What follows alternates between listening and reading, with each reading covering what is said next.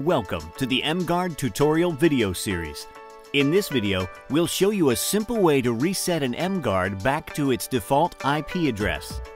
This is useful if the current IP address of the MGuard is unknown or you've forgotten the address and need to start over with a new IP. Note, this won't change your VPNs or firewall rules, nor will it reset your password. That will be covered in another video. It doesn't matter what MGuard hardware you are using, the process will be the same for all. The only thing that changes will be the location of the reset button on the different hardware variants.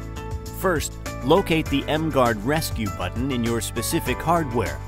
Most of them will have a reset button identified as X9. The only exception will be the GT slash GT variant that uses the mode button and a different flash procedure. You will also utilize a very important high-tech tool, a paperclip. Use the paperclip to slowly press and release the rescue button six times at one second intervals. Wait a few seconds for the state LED to go solid for approximately one second.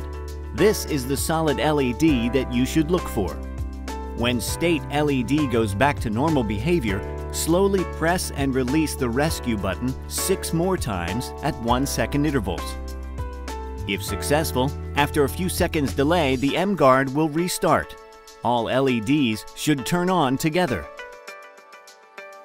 If you see the error LED turn on by itself after the procedure, it indicates that the rescue was not successful, so please repeat the process and try again.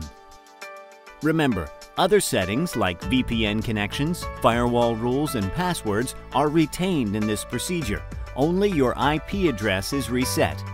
After the reset, the device can be reached again at the default address of 192.168.1.1 or through BootP. Please refer to the out-of-the-box login video tutorial.